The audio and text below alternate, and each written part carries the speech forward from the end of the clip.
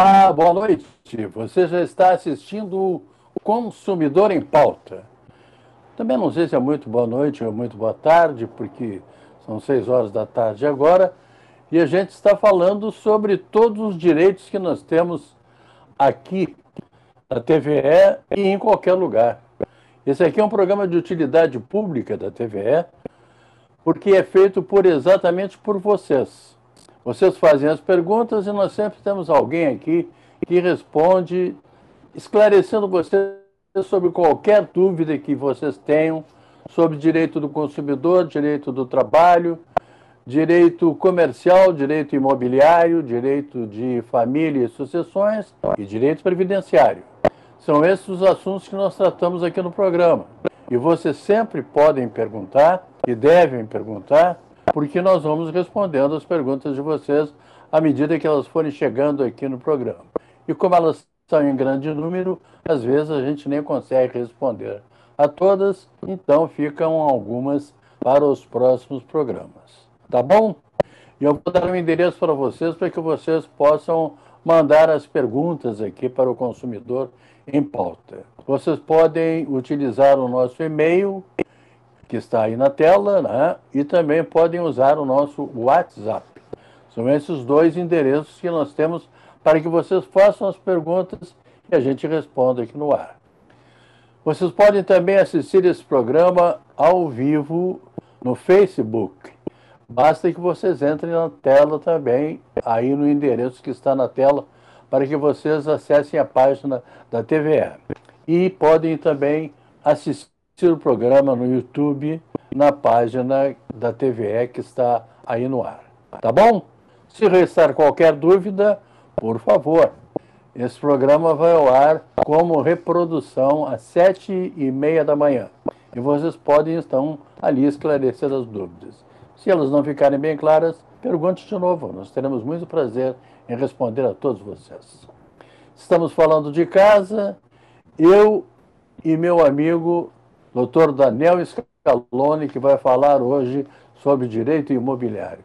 Boa tarde, doutor Daniel, tudo bem? Boa tarde, Machado. Boa tarde, telespectadores. Tudo bem? Tirando essa bandeira vermelha novamente, né? Pois Tudo é, bem. né? Eu fico impressionado. Sabe que isso é uma coisa que me lembra muito o senhor, doutor Daniel. Cada vez que eu vejo a pandemia é, se renovando, eu digo, olha aí, ó, a previsão do doutor Daniel. Mas fazer o quê, né, doutor Daniel? De fato, Machado, estou chegando à conclusão que o meu otimismo está se esvaindo.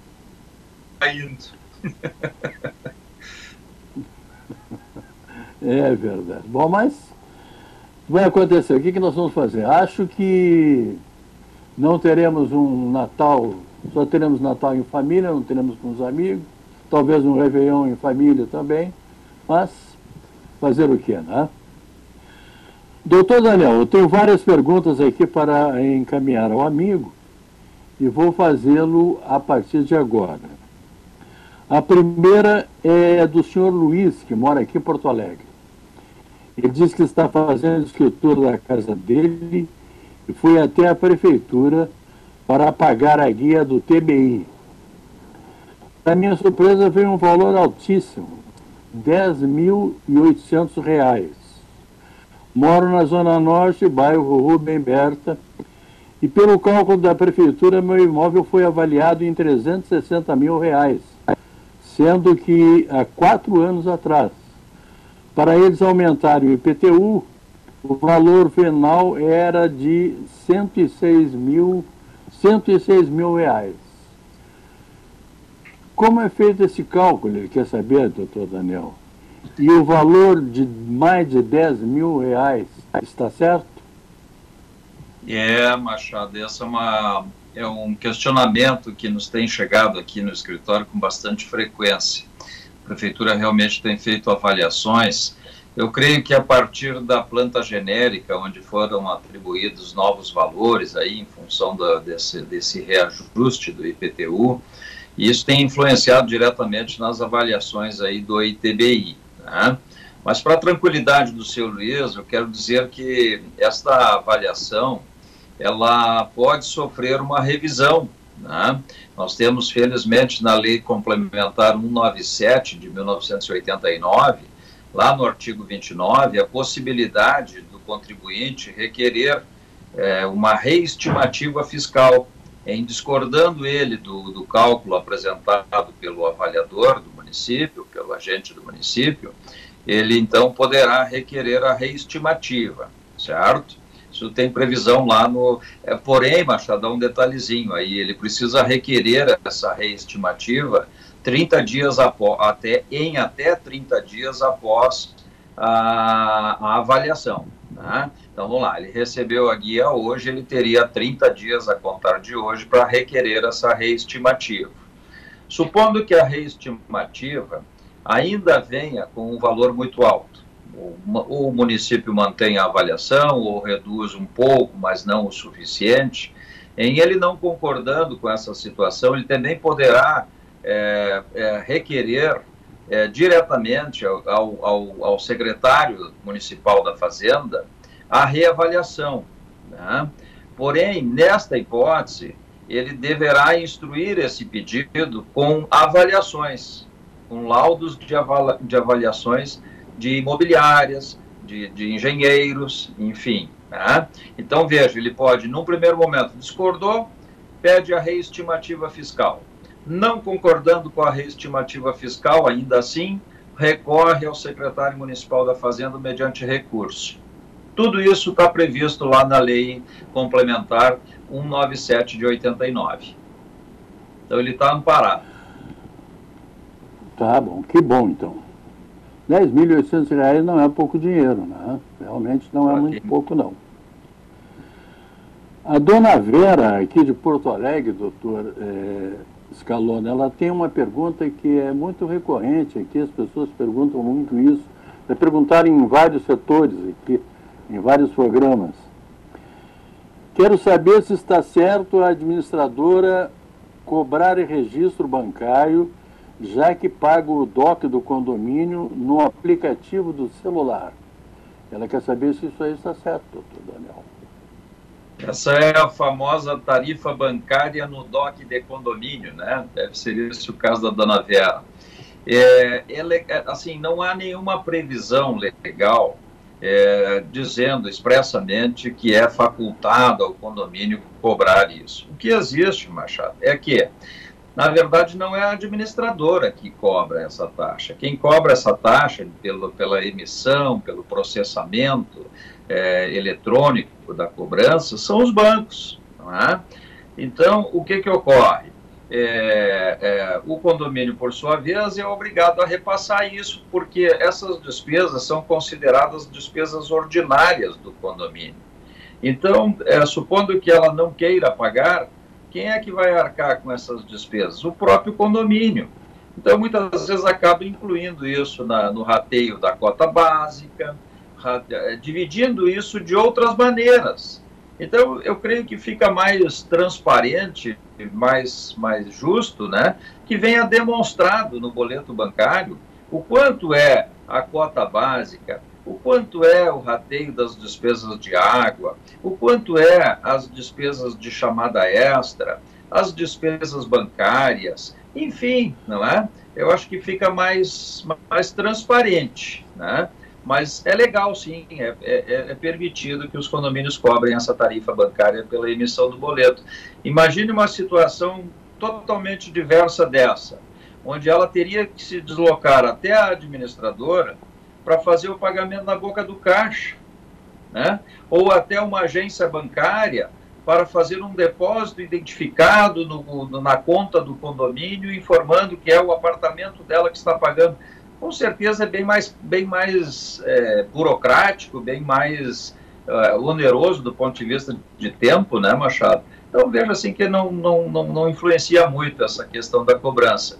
Claro que ela não pode ser uma cobrança exacerbada, né? Vamos lá, um real, dois reais, aí, três reais pela cobrança no máximo, é, é o que tem se praticado aí no mercado. É legal sim essa cobrança. É por isso que às vezes eu fico vendo os bancos, às vezes tem 3 bilhões e não sei quantos bilhões de lucro no semestre, deve ser por causa desses 3 reais aí que, que, é, que descobre no condomínio, é. doutor, doutor Daniel. Deve ser por isso. Mas, mas, mas Machado, para tranquilizar. Vamos lá para a próxima.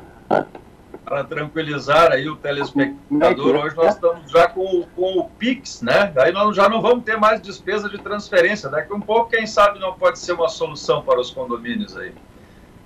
Nós vamos fazer um rápido intervalo, mas é bem rapidinho aqui. É só um tempo da gente tomar um gole d'água. A gente vai e volta.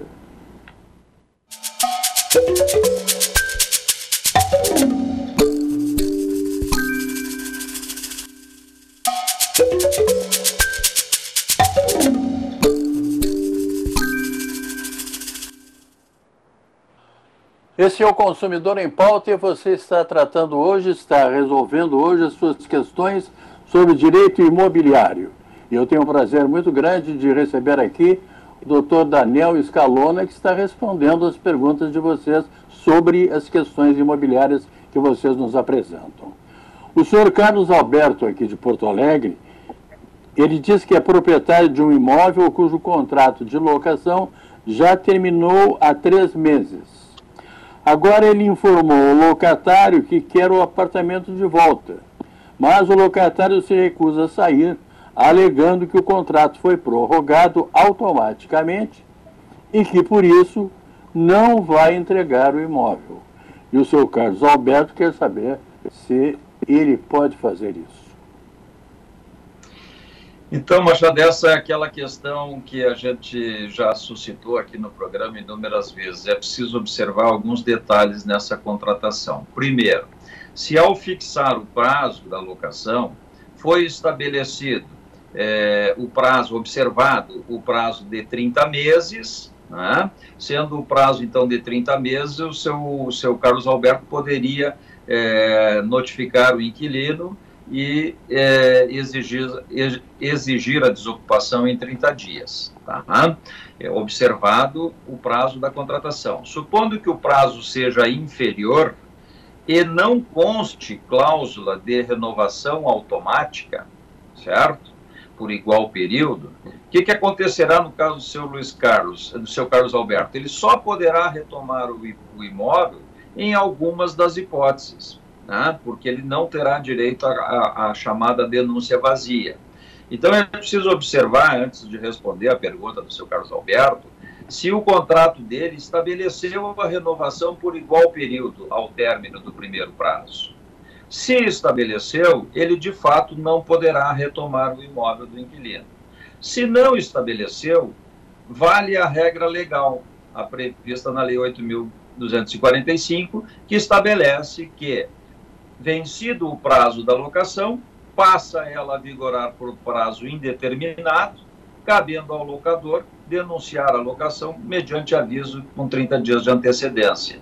Então, é, é, é detalhe contratual. Muitas vezes o contrato prevê a renovação automática por igual período no silêncio das partes e outras vezes não prevê. Se não prever, vale o estabelecido em lei, ou seja, passa a vigorar por prazo indeterminado e é podendo o locador, então, o proprietário, denunciar o contrato mediante aviso prévio de 30 dias. Doutor Daniel Scalona, a, pergunta, a próxima pergunta agora é ela é aqui de Porto Alegre também, é do senhor Luciano. Ele diz o seguinte: moro em uma casa alugada há três anos. Agora ela está começando a apresentar problemas como vazamentos no telhado, janelas com dobradiças quebradas, sistema hidráulico com cheiro forte de ferrugem, entre outros. Essas reformas são de responsabilidade do proprietário? Se sim, como faço para que ele providencie os reparos? Veja, o seu Luciano narra problemas de goteira, problemas no telhado, né? Via de regra, esse tipo de problema é problema estrutural, né? portanto, responsabilidade exclusiva do locador, do proprietário do imóvel. Tá? É, Para simplificar, é, que essa é uma pergunta bastante recorrente aqui no programa, e eu, eu, eu gostaria de simplificar, assim, para que o ouvinte, o telespectador, entenda é, é, quando é a responsabilidade do inquilino e quando é a responsabilidade do locador. Aquelas ah, ah, manutenções que são de responsabilidade do inquilino são aquelas que são provocadas por ele próprio. Né? Então vamos lá, recebeu um chuveiro funcionando, queimou durante a locação, é evidente que o inquilino terá de consertar o chuveiro. É, recebeu um piso em condições, deixou cair lá um objeto, danificou o porcelanato, o piso, evidente que esse tipo de, de, de, de manutenção, de, de benfeitoria, será feito pelo locatário. Agora, quando não acidental ou não intencional, via de regra, as responsabilidades são do locador, né? especialmente quando se trata, como é o caso do seu Luciano, de, de vazamento no telhado, portanto, uma, uma, um problema estrutural. Né? Estas, a lei é muito clara, elas estabelecem como sendo responsabilidade do proprietário. Como é que ele faz para comunicar isso? Se ele tem alocação através de uma imobiliária, ele faz uma correspondência para a imobiliária pedindo providências. Se ele tem alocação diretamente com o proprietário, então que encaminhe diretamente ao proprietário o seu pedido de, de, de reforma ou de benfeitoria, de correção desse problema. Né? Simples assim. Veja bem o problema do senhor Jonatas, que mora em Viamão, doutor Daniel. Sou fiador de um contrato de locação. Descobri que o inquilino não paga o IPTU desde 2017. Minha dúvida é se sou responsável por essa dívida também. E daí, doutor Daniel? É preciso observar, veja, Machado, um detalhe curioso nessa relação envolvendo o IPTU nas locações residenciais. O IPTU é uma obrigação propter rem, portanto, persegue o imóvel, não o proprietário, né?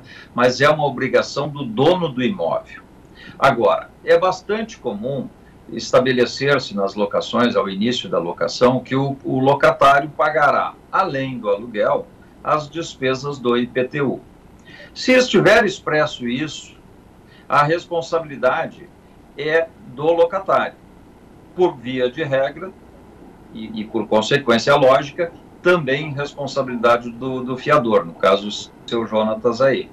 Então, se constar do contrato que esta obrigação foi transferida do proprietário ao inquilino, o seu Jonatas, enquanto fiador, será também responsável por esse pagamento. Que coisa, por isso que não se consegue quase fiador mais hoje, né? É quase tudo na base da, da fiança é, da, da seguradora financiando é o pessoal aí. Mas, veja, essa pergunta aqui, doutor eh, Daniel, ela, ela remete muito a alguma coisa que o senhor já falou aqui no programa. O senhor Rodolfo de Santa Cruz do Sul, ele disse que é proprietário de um imóvel que ele aluga para ter uma renda extra.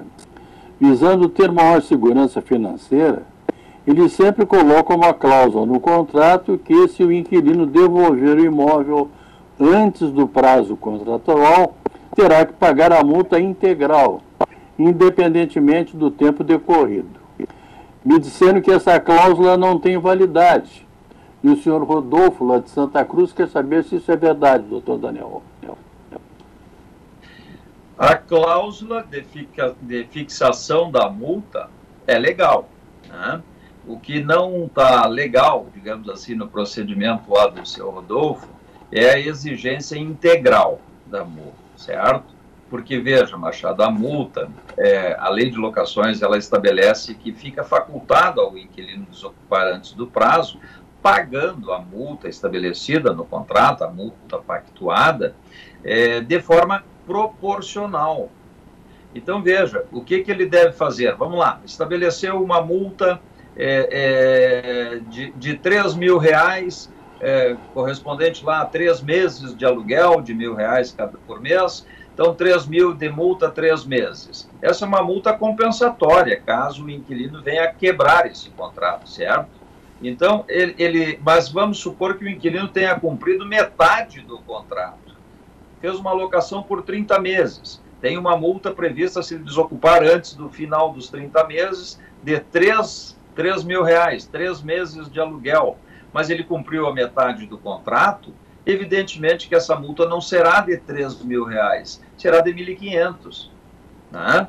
Então a lei estabelece isso, que a multa pela desocupação, pela quebra do contrato e pela desocupação antes do prazo fixado para a locação, ela deve ser cobrada pelo proprietário proporcionalmente ao tempo que faltar para o integral cumprimento do contrato. Então, se ele cumpriu a metade, metade da multa. Se desocupar no primeiro mês de locação, multa integral. Então, a fixação da multa não está errada. Que pode estar errado é a, é a forma de, de, de, cobrança que o senhor Rodolfo está procedendo aí. Né? Tá vendo? Falei que era alguma coisa que o doutor Daniel já tinha conversado aqui, já tinha falado, e realmente é isso também. O cara quer cobrar a multa inteira do, do período todo, 30 meses, daí vai ficar pesado. Daí. É, o senhor Mário. É. Veja, Machado, uma situação, e por que, que a lei prevê isso também, né? Quis o legislador proteger, de certa forma, também o inquilino contra essas cláusulas abusivas, né? Porque aí não, né? É, imagina o sujeito aluga por 30 meses, ao cabo do 28º mês, faltando dois meses, ele é obrigado a desocupar por qualquer motivo o imóvel, vai pagar três meses de multa, não, né? Seria mais fácil pagar os dois meses de aluguel, né? Que faltam, né? Então, para esse tipo de situação é que ela deve ser cobrada proporcionalmente, né? Tá certo. Uh, o senhor Marivone mora em Eldorado do Sul. Estou comprando minha primeira casa própria, mas me surgiu uma dúvida. Peço que me esclareçam se sou, o vendedor, se sou eu ou o vendedor que tem a obrigação de pagar os impostos e taxas do cartório. O senhor também já falou sobre isso aqui, doutor Daniel. Sempre as despesas de aquisição são por conta do comprador. Né? Então vamos lá, o seu Marivone está comprando um imóvel uh, usado. Né? O que, que ele tem de pagar?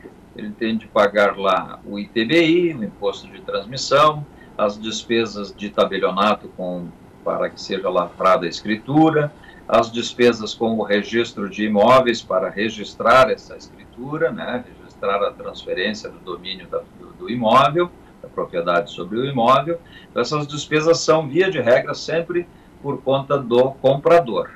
Tá? Essa é a obrigação legal do comprador. Doutor Daniel Escalona, tive um prazer muito grande em conversar com o senhor. Hoje é tarde aqui nesse programa, é tarde, quase noite, né? que tratou de direito imobiliário e que respondeu as perguntas dos nossos telespectadores. Muito obrigado, doutor Daniel, que o senhor volte sempre e que a pandemia vá embora de uma vez, tá? Muito obrigado pela sua presença aqui. Um grande abraço. Obrigado Lembrando a todos. a todos vocês que. Obrigado, doutor Daniel. Lembrando a todos que nesta quarta-feira eu estarei de volta aqui e vou tratar mais uma vez, de direitos do consumidor. A todos vocês, muito obrigado, muito boa noite e até lá.